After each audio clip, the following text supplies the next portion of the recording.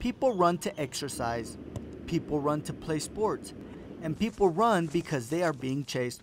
But on this day at Camp Kaia, Afghanistan, military members ran with a different purpose.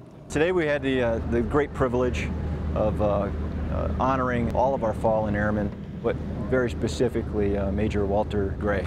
Air Force Major Walter Gray was killed when a suicide bomber attacked his vehicle in northeastern Afghanistan. Although Colonel Teister didn't have a chance to meet him, Major Gray left an impression.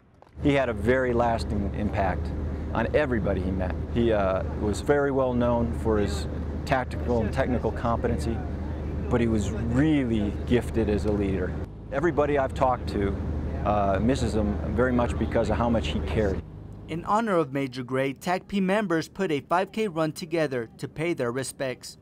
We were all here together fighting one war, one team, you know, recognizing the, the ones who have fallen, especially when it is close to your heart. One runner and TACP airman had a personal tie to the run. It was a little bit emotional for me. I met Major Gray when I was at TACP Schoolhouse. He was nice and uh, very articulate, just asking how you were doing and just normal guy talk.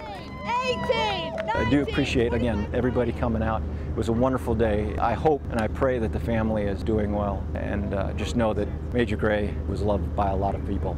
Petty Officer Omar Dominguez, Kabul, Afghanistan.